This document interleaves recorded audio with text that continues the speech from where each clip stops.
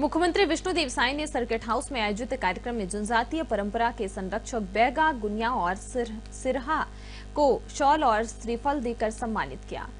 इस दौरान मुख्यमंत्री ने कहा कि बैगा, गुनिया और सिरहा जैसे परंपरागत जनजातीय समुदायों को अब प्रत्येक वर्ष पाँच पाँच हज़ार रूपए की सम्मान निधि दी जाएगी। यह पहल जनजातीय समाज की सांस्कृतिक परंपराओं को प्रोत्साहन देने के साथ उनके आर्थिक सशक्तिकरण की दिशा में एक महत्वपूर्ण कदम है। बताया जा रहा है कि मुख्यमंत्री ने जनजातीय समुदाय की परंपराओं को सजोने और उन्हें समाज के विकास में भागीदार बनाने के महत्व को पर ज़ोर दिया। इस अवसर पर वन मंत्री, विधायक पूर्व विधायक समेत स्थानीय जनप्रतिनिधिगण मौजूद रहे।